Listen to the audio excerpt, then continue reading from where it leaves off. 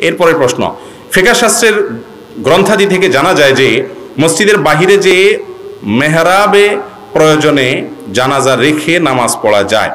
এখন যদি আমরা মসজিদের ভেতরে জানাজা রেখে, অর্থাৎ লাশ রেখে, খাটিয়া রেখে নামাজ আদায় করি সেই বিধান মতে সঠিক কিনা? এটাকে ফোকা একরাম মাকরু বলেছেন ভাই।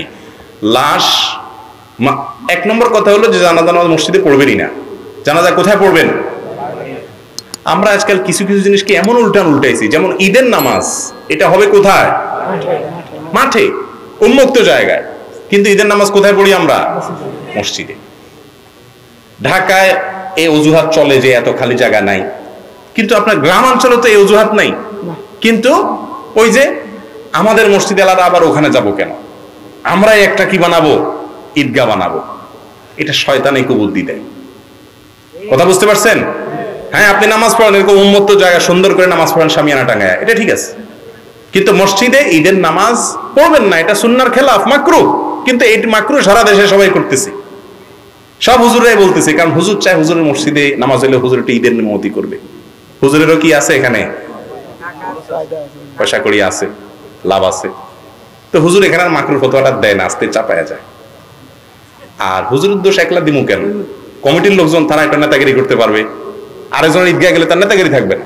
মুসল্লি হয়ে যাইতে হবে। এই জন্য নিজেরা কি করে? ঈদের নামাজ যদি করতে চান, ঈদগাহে করবেন। এটা হলো সুন্নাত। জানাজাও কোথায় হবে? বাহিরে হবে। বিশেষ করে লাশ যদি ভিতরে নিয়ে যান, গোসল দেওয়ার পরে, সেখান থেকে ময়লা পানি পড়তে পারে, দুর্গন্ধ আসতে পারে মসজিদের শানের খেলাফ হবে, আরও অনেক কারণ আছে। এসব কারণগুলোর প্রেক্ষিতে সুন্নাত হলো মসজিদের বাহিরে জানাজা পড়া। ফরজ নামাজ শেষ, মসজিদের বাইরে হয়ে এসে খোলা জায়গা থাকলে সেখানে নামাজ পড়েন। আর যদি এরকম কোনো জায়গা না থাকে, যেমন ঢাকা শহরে, বেশিরভাগ জায়গাতে এরকম নাই। অনেকে আবার রাস্তা দখল করে ঈদের নামাজ পড়ে, সেটা আরও গুনাহের কথা। ওটা তো গুনাই হবে। রাস্তা দখল করে নামাজ পড়া জায়েজ নাই। সাধারণ মানুষের পথের চলাচলের বিঘ্ন করে আপনি গায়ের জোরে রাস্তা বন্ধ করে নামাজ পড়লেন। এই ইসলাম আপনাকে আল্লাহ আল্লাহ রাসূল শিখান নাই। কথাকে বুঝতে পারছি? মানুষের ক্ষতি করে নামাজ পড়া যায় নাই। রাস্তাঘাট বন্ধ করে। রাস্তার মালিককে একজন মানুষ যেতে পারে ইমার্জেন্সি রোগী নিয়ে যেতে পারে। আপনি বন্ধ করে দিলেন রাস্তা নামাজের জন্য। না। এই ইসলাম আমাদেরকে শিখায় নাই মসজিদে পড়তে হবে সেক্ষেত্রে। ওটা চেতে মসজিদে পড়া উত্তম। এখন জানাজার লাশ মসজিদের সামনে রেখে সৌদি আরব এসে মসজিদগুলো এরকম। আমাদের দেশে অনেক মসজিদ এখন ঢাকা শহরে হয়ে গেছে। ম্যাক্সিমাম মসজিদ এরকম এখন। যে মসজিদের মেহরাবের সাইড দিয়ে আপনার পশ্চিমে কেবলার দিকে আপনার একটা ছোট দরজা থাকে। ওই বাহিরে লাশটা থাকে, দরজাটা খুলে দেয়। ইমাম সাহেব ওখানে দাঁড়ায় নামাজ পড়ে। মুসলিমদের মসজিদের ভিতরে আছে, কিন্তু লাশ কোথায় আছে? বাইরে আছে। এভাবে পড়লে আর মাকরু থাকবে না। তারপরে উত্তম হলে এসব ভেজাল না করে ডাইরেক্ট কোথায় নামাজ পড়া? মাঠে নামাজ পড়া। চার মাঝহাব সহি কিনা? মাঝহাব মানা শিরিক কিনা? কোরআন হাদিসের আলোকে জানতে চাই। না ভাই, মাঝহাব মানা শিরক হবে কেন? মাঝহাব মানা যদি শিরক হয়, তাহলে জান্নাত খালি থাকবে। তাহলে জান্নাত খালি থাকবে। কারণ ইমাম নববী, হাফেজ ইবনে হাজার আসকালানি, অনেক বড় বড় মুহাদ্দিস, ফোকাহা, মুফাসসির, যাদের প্রায় বেশিরভাগই কোনো না কোনো মাযহাবের অনুসারী ছিলেন। এখন মাযহাব মানলে যদি শিরিক হয়ে যায়, তাহলে তো আর জান্নাতে কোনো লোকজন পাওয়া যাবে না, জান্নাত খালি থাকবে। কথা বুঝাতে পারছি?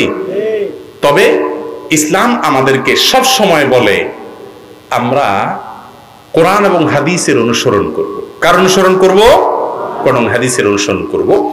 ওলামা একরামের অনুসরণ করব, কিন্তু সেটা আলা বাসিরাতিন, সেটা আলা দালিল। যে কোনো আলেম যা বলবে তার কথা শুনে করুক, শুরু শোনা শুরু করবেন, এটা না। যখন পর্যন্ত কোরআন হাদিসের মধ্যে থাকবে, আপনাকে রাহবরি করবে, অবশ্যই ওলামা একরামদের কথা শুনবেন। আর কথা শুনেন আর না শুনেন, অশ্রদ্ধা করবেন। এখন একটা ট্রেন চালু হয়ে গেছে, হুজুরদেরকে নিয়ে ট্রল করা। নিজে দু চারটা হাদিস কোরআন জানার পরে এবার আলেমুল আমাদেরকে নিয়ে অপমান কর মন্তব্য করা শুরু করে। এ রোগ তৈরি হয়েছে কি হয় নাই? সবার মধ্যে। হুজুররা একজন একজনে করে, এবার অনুসরণ বলে আমরা বসে থাকুন কেন? আমাদের হুজুর যখন করে আমরাও করি। এবার মুক্তাদিরাও শুরু করে। গোটা সমাজ অশান্ত হয়ে যাচ্ছে কি যাচ্ছে না? আল্লাহ রব্বুল আলমিন আমাদের মনগুলোকে বড় করার তৌফিক দান করুন। আমি মনে করি উনি ভুল করতেছে একটা মাসালায়। আমার মতে ওনার মাসালাটা কি? ভুল। ওনাকে যদি আল্লাহ জান্নাতে দেয়, আমার কোনো ক্ষতি আছে? আমি তো আল্লাহকে এটা বলা দরকার, আল্লাহ, আমার ভাই আমার মতে ভুল করতেছে, তারপরেও তারা জান্নাতে দিয়ে আল্লাহ আমাকেও সাথে দিয়ে। এটা না ইমানদারের কথা? কিন্তু এমন একটা ভাব আমাদের যে, হে, জান্নাতে গেলে আমি ওই জান্নাতেই যাব না। নাউজুবিল্লাহ। এরকম একটা রোগ এসে গেছেন আমাদের মধ্যে? আল্লাহ আমাদেরকে সংশোধন করার তফিক দান করুন।